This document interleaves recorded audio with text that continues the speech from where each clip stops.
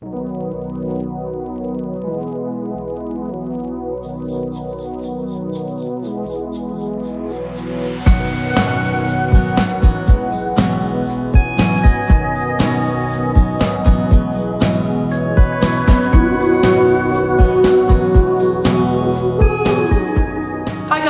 So today we're picking up some very, very lazy vegan recipes. I've made a few videos like this in the past, but these are gonna be even more simple because you've said to me, we need it more lazy, we need it more simple. I'm a student, I'm a beginner.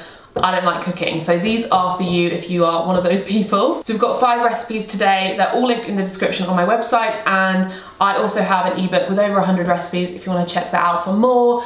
And let's get into it.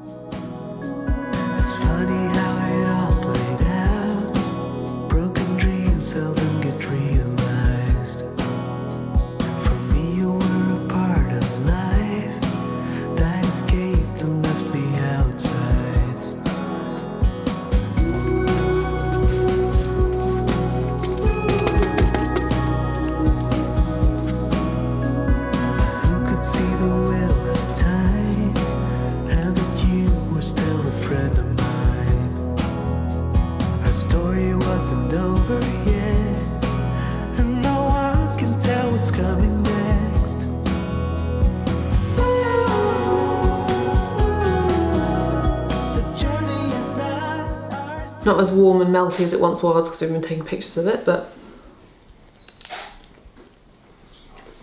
Mmm, that's so yum, tastes like pizza.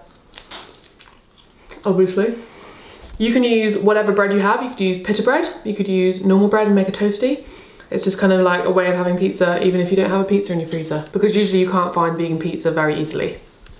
So if you don't have access to any nice vegan cheese, I've used the one from Tesco, it's my favourite, the mature cheddar. You can just use nutritional yeast to kind of get that cheesy flavour and it'll work as a good alternative.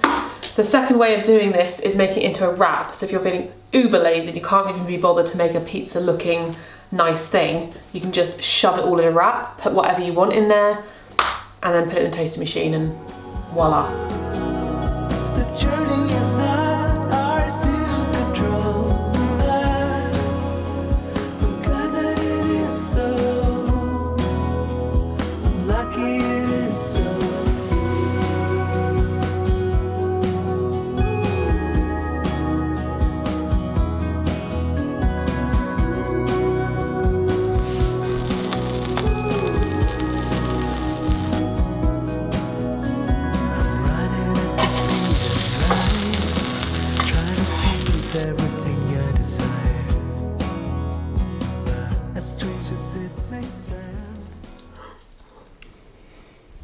That's so good.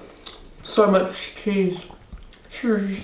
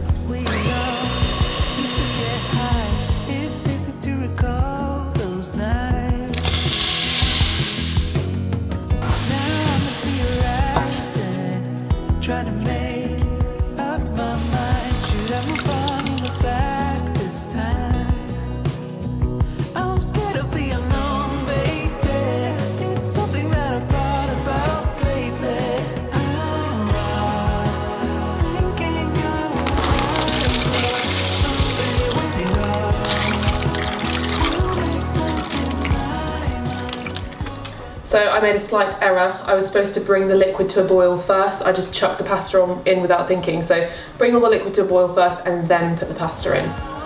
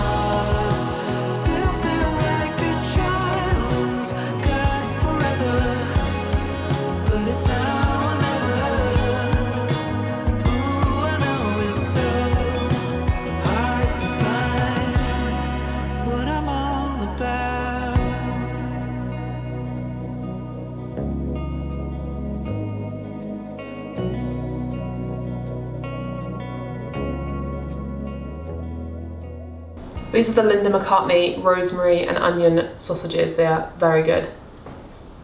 Mm -mm -mm. So some of you might be wondering why I put the garlic cloves in there whole. They will infuse everything with a nice garlicky flavour and they are delicious to eat on their own. Just squeeze that out, squeeze it out of the, the skin. Mmm, so good. Honestly, my favourite way to eat garlic.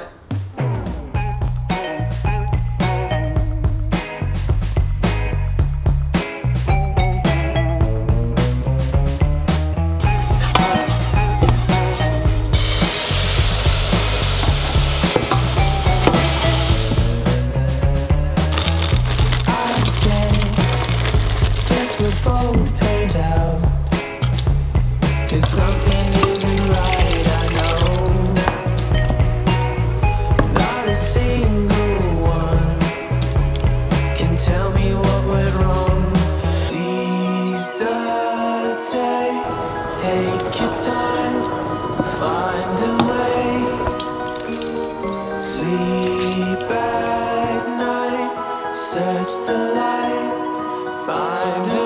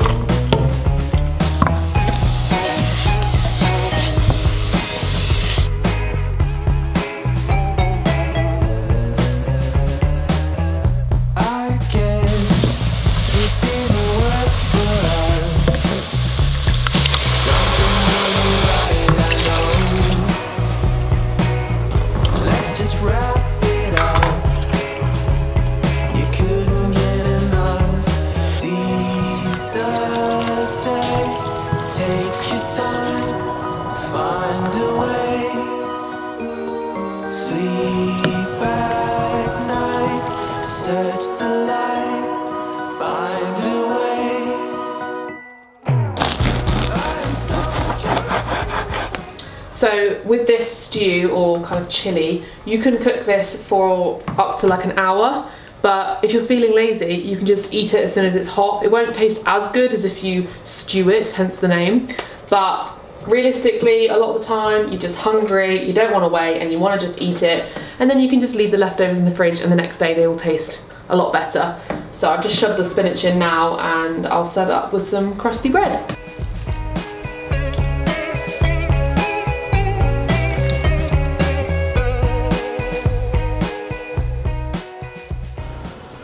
Still. Mmm, that's so comforting, we're really good with some bread. And like I said, you can cook it for way longer and it'll just taste better the longer you cook it. Also, I feel like sweet potato would be really good in this. But yeah, super simple, super yummy. Hope you enjoy all these recipes. Let me know if you cook any and tag me on Instagram. I love seeing your pictures. Don't forget to look at the description for links to all the recipes on my website. And I'll see you in my next one. Bye. If you're not lucky enough to have Tesco own brand cheese, then I feel sorry for you. well, I sounded like a weirdo. Perfect with some